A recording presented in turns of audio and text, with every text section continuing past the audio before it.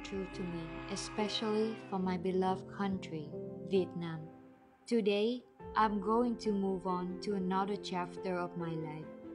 I would like to say thank to my Carousel family, especially to Mr. Ramon Monzon and Mam Laurentius. Thank you to my family and friends for loving me unconditionally. To my successor, cherish and enjoy every moment of the journey and keep the spirit to carry the Miss Earth mission.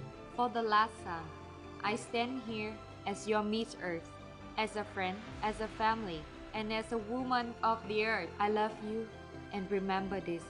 One small action multiplied by million people can transform the world.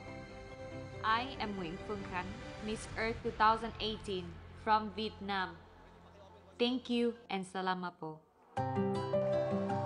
Brace yourselves for the announcement we've all been waiting for. The crowning of Miss Earth is up next after this break.